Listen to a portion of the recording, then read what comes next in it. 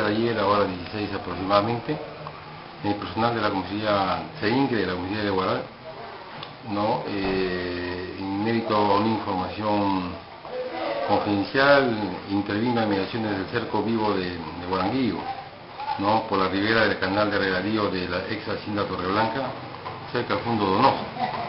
Ahí, entre los matorrales de cañas vivas y otras vegetaciones silvestres, en un espacio acondicionado de 70 metros cuadrados, se encontró 46 plantones arbustos de marihuana, cannabis sativa, en una altura de un metro y medio a dos metros aproximadamente, las mismas que están siendo cultivadas, ¿no? En algún lugar se apreciaban ya que algunas plantaciones se había cortado el moño para el secado y, y venta posterior.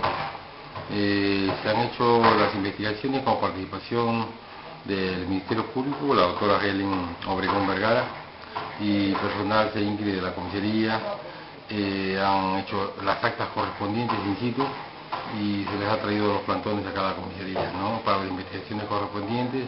No se está por determinar quién son los presuntos autores de la plantación de estas de la planta de marihuana.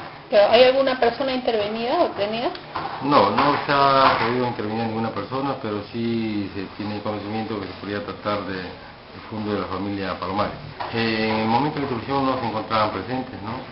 Eh, está en proceso de investigación y en eso estamos con los representantes del Ministerio Público. Como digo, es una información eh, de una información confidencial, es un trabajo de inteligencia y bueno, pues se ha producido la intervención con los representantes del Ministerio Público. Y se va a citar al propietario ¿no? de, de dicho local para que explique eh, la forma y circunstancia como eh, que se han sembrado esas plantaciones en dicho lugar.